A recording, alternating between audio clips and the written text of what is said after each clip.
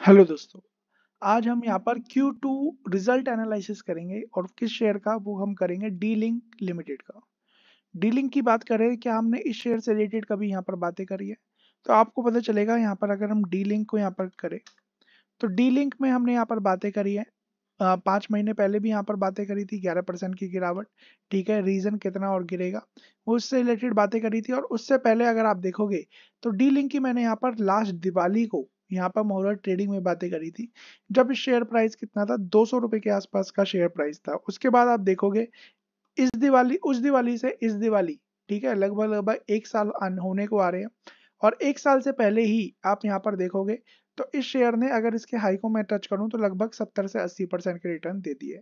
तो इसे ही कहते हैं मिड टर्म इन्वेस्टमेंट कि आपने अच्छा खासा इन्वेस्टमेंट किया और आपने लगभग एक साल के अंदर अंदर अच्छे खासे रिटर्न यहाँ पर बना लिया अस्सी परसेंट एक अच्छे खासे रिटर्न बने जाते हैं।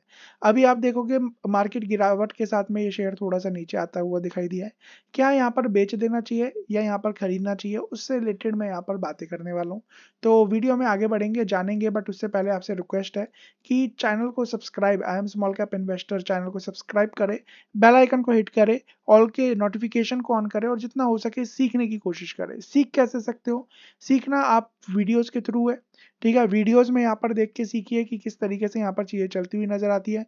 दूसरा, अगर बारीकियाँ जानना है तो आप क्या कर सकते हो, यहाँ पर ये नंबर है double eight six zero five four zero five zero one eight one six nine two six one zero three seven दोनों नंबरों को सेव कर लीजिए। Basics to advance technical research fundamental यहाँ पर आपको सर्टिफिकेट नहीं दिया जाएगा, सिखाया जाएगा और सिखाया क्या जाएगा, क्यों, क्या, कैसे, किस लिए के जवाब दिए जाएँगे। कि ये शेयर लेना क्यों है, ये शेयर बेचना क्यों है क्यों यहाँ पर से तेज़ी हुई है? क्यों यहाँ से शेयर गिरता हुआ नज़र आ रहा है? कहाँ से बॉटम है? कहाँ से टॉप है? एज वेल एज आपको यहाँ पर पता चलेगा कि किस तरीके से चीज़ें काम करती हुई नज़र आती है। तो यहाँ पर आपको वो जवाब मिलते हुए नज़र आएँगे, कौन सा शेयर लेना है, कौन सा बेचना है, किस तरीके से लेना है। ये इस कोर्स से आपको पता चल जाएगा। बीस हज़ार रुपए का कोर्स है। एक बार इस कोर्स को किया तो पीछे मुड़ के देखने की ज़रूरत नहीं पड़ेगी। थ्री मंथ्स की hand holding strategy use in stock market online note सब कुछ दिए जाएँगे और एक बार आपने ये चीज़ें पढ़ ली, एक चीज़ें यहाँ पर देख ली। तो बस ये याद रखिएगा, छह से महीने से एक साल का एक्सपीरियंस लीजिएगा। आप यहाँ पर अच्छे बनते हुए नज़र आओगे स्टॉक मार्केट में। डीलिंग की बात करें तो यहाँ पर देख सकते हैं, इस primary primarily engage in marketing and distribution of networking product It operates through a distri uh, distribution network and wide range of product portfolio and solution uh, with a, a nationwide uh, reach across India. तो हम बात करें dealing के आपने routers वगैरह देखे होंगे। अगर आप यहाँ पर uh, आपके घरों में राउटर्स होंगे तो आपको पता चलेगा कि यहाँ पर इंटरनेट uh, लगा होगा तो यहाँ पर पता चलेगा डीलिंग के यहाँ पर ज़्यादा यूज़ होते हुए दिखाई देते हैं और भी कंपनी आती है। एज वेल एज ये सर्वेलेंस और सिक्योरिटीज़ में भी ये कंपनी काम करती हुई नज़र आती है। ओके okay, यहाँ पर अच्छा खासा इनका प्रोडक्ट पोर्टफोलियोज है। यहाँ पर इनके बारे में जानना चाहते हैं, इनके अडेप्टर्स भी आते हैं, इनके यहाँ पर यहाँ पर राउटर्स भी आते हैं कनेक्टर्स भी आते हैं तो यहाँ पर एक बार जाके इनके बिज़नेस मॉडल इनके products home networking surveillance accessories flagship product ये सब चीज़ आप जाके एक बार देख लीजिए, ताकि एक आइडिया लग जाए कि आप यहाँ पर किस कंपनी में यहाँ पर काम करते हुए नज़र आ रहे हो। दूसरी बात करें कंपनी की तो कंपनी यहाँ पर देखिए अच्छा खासा प्रोडक्ट पोर्टफोलियो यहाँ पर नज़र आता है different kind of routers which is in wireless devices surveillance network securities यहाँ पर काम करती है। मार्केट शेयर की बात करें तो company is a leader in the shipment of the switches and wireless local area network product with the market share 30 to 40 percent लगभग 30 से 40 परसेंट का मार्केट शेयर केवल इसने ही ले रखा है।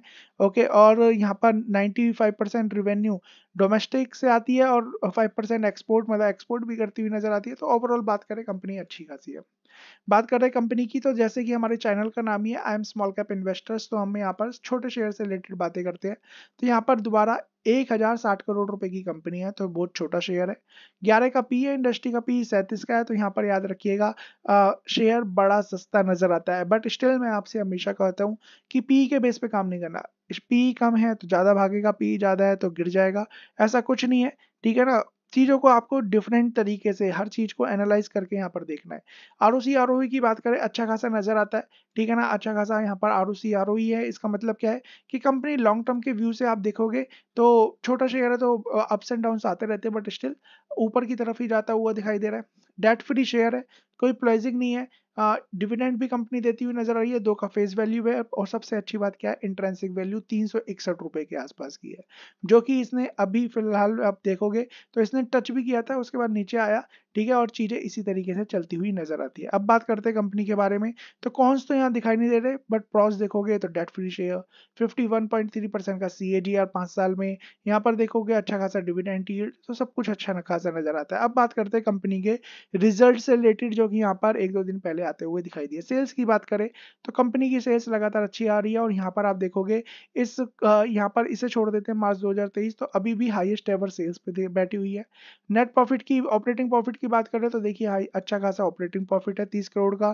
क्वार्टरली बेस पे तो और अच्छा परफॉर्मेंस है। As well as yearly base पे बात करें तो ईयरली बेस पे कंपनी का मार्जिन भी ठीक ठाक नज़र आता है और क्वार्टरली बेस पे और अच्छा है।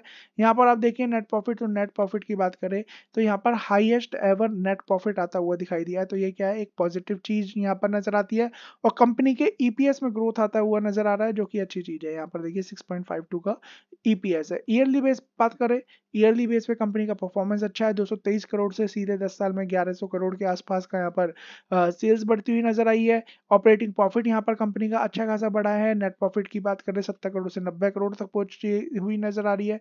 रिज़र्व की बात करें, तीन करोड़ के रिज़र्व तो रिज़र्व बढ़ते हुए नज़र आ रहे हैं। रिज़र्व बढ़ रहे तो आने वाले टाइम में ये आपको बोनस भी देती हुई नज़र आ सकती है। बोरोइंग ना के बराबर है। 111 करोड़ का इन्वेस्टमेंट और कैश की बात करें तो लगभग 40 करोड़ का कैश भी पड़ा हुआ है।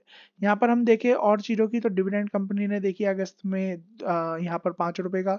अठारह अगस्त को यहाँ पर पाँच रुपए का ठीक है? तो यहाँ पर कंपनी डिविडेंड तीन रुपए का इस तरीके से देती हुई नज़र आ रही है और जिस तरीके से डिविडेंड बढ़ रहा है ये चीज़ें बता रही है कि कंपनी तभी डिविडेंड दे रही है जब यहाँ पर कुछ कमा रही है ओके? और त, और अच्छा खासा कमा रही है तो और बढ़ बढ़ के यहाँ पर डिविडेंड आ रहा है।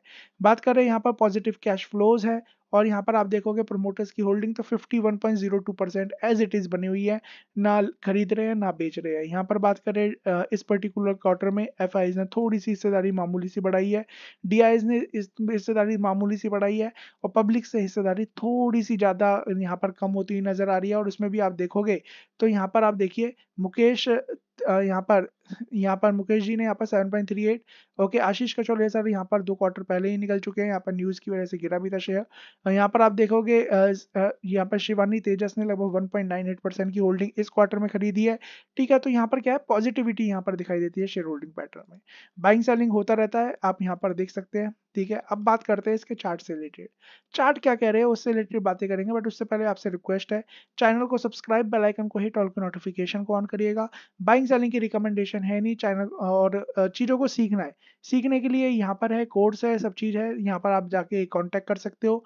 अब बात करते हैं कंपनी के फंड यहाँ पर फंडामेंटल्स फंडामेंटल हमने देख लिया, अब देखते हैं थोड़ा सा टेक्निकल टेक्निकल देखिए तो यहाँ पर आप देख पाओगे कि यहाँ पर इस पर्टिकुलर शेयर ने एक अच्छा खासा 2015 16 का क्या किया था? ब्रेकआउट देता हुआ नज़र आया था। जब इतना बड़े ब्रेकआउट होते हैं ना तो वो थोड़े से गेंस के साथ नहीं निकलते। इस चीज़ को याद रखिएगा। ठीक है ना? बीच में यहाँ पर बार बार हर्डल्स भी आते हुए नज़र आए। इसने टू हंड्रेड का बार बार सपोर्ट भी लिया है। बट टू हंड्रेड डीएमए का सपोर्ट लेके चीज़ें बार बार ऊपर भी गई है। यहाँ पर हम देखें तो एक यहाँ पर यहाँ पर अगर मैं आपको दिखाऊँ तो आपको पता चलेगा कि इस पर्टिकुलर शेयर ने यहाँ पर एक सपोर्ट है यहाँ पर। ठीक है इसे थोड़ा सा यहाँ पर ब्रेक किया है बट यहाँ पर ठीक है कोई परेशानी नहीं है।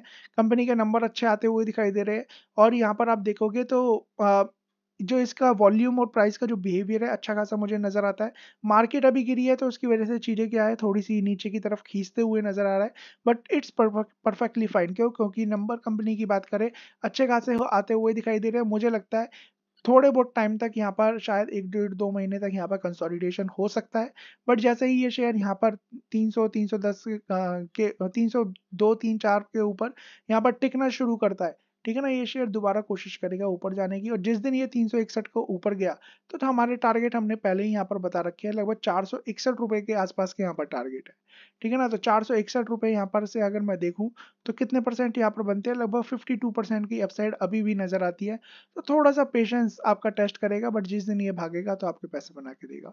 बाइंग सेलिंग की रिकमेंडेशन है नहीं अपने फाइनेंशियल एडवाइजर खुद की स्टडी करना है चीज़ों को सीखना है। सीखने का तरीका मैंने बता दिया और अगर कोई अभी यहाँ पर बना हुआ है तो बना रह सकता है, अगर किसी को डर नहीं है तो। डर है तो वो बेच भी सकता है, वो आपकी मर्ज़ी है। बाकी हम यहाँ पर बात करें बाइंग कम बनेगी? बाइंग बनेगी जब ये तीन सौ चार पाँच के ऊपर रुकेगा, ओके, ठहरेगा और इसमें ऊपर की तरफ़ मोमेंटम आएगा, तब। अब मार्केट कल थोड़ी सी डाइसी हो सकती है, अगर डाइसी रहती है तो क्या होता हुआ नज़र आएगा तो यहाँ पर ऊपर जाने के चांसेस कम है। अदरवाइज़ अगर मार्केट ठीक रहती है तो ये ऊपर जाने की कोशिश कर सकता है। ठीक है ना? और अगर आप उस टाइम यहाँ पर लोगे तो याद रखिएगा, दो तीन रुपए का, चार रुपए का स्टॉप लॉस फिर भी लगाना है। रिस्क मैनेजमेंट को हमेशा फॉलो करना है ताकि आपके पैसे बने। So thank you so much God bless